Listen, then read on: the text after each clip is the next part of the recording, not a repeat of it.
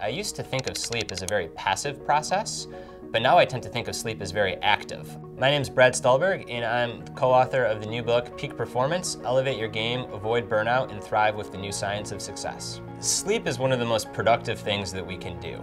Um, we like to think that it's during the day that our minds are growing and that our bodies are getting stronger, but it's actually quite the opposite. It's only when we sleep uh, that both our physiology and psychology grows. So from a physiological standpoint, everything you do with your body, so just think about traditional exercise during the day, right? You're breaking your body down.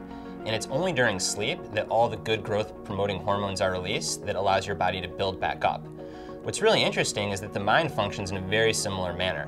So during the day, you might be exposed to all kinds of information, do problem solving, various types of what I guess would be categorized as learning. Uh, we might think that it's during the day when we're doing all the hard work that we're getting wiser and, and our minds are growing per se. But uh, much like the body, that also happens when we sleep. So it's when we sleep that our mind consolidates, stores, and connects all the information that we've been exposed to during the day. It's, it's, a filtering process per se. For a short period of time, if you need to get by in a few hours of sleep, let's say that you're a trauma surgeon, right, and you're on call and you have cases, that's totally fine. There's not much else that you can do. Um, I think that where people get into trouble is when for an extended period of time, they try to cheat themselves of sleep.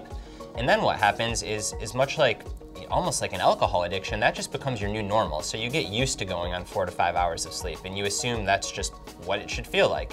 Uh, when in fact, you probably could be a lot more productive, a lot higher performing if you slept more.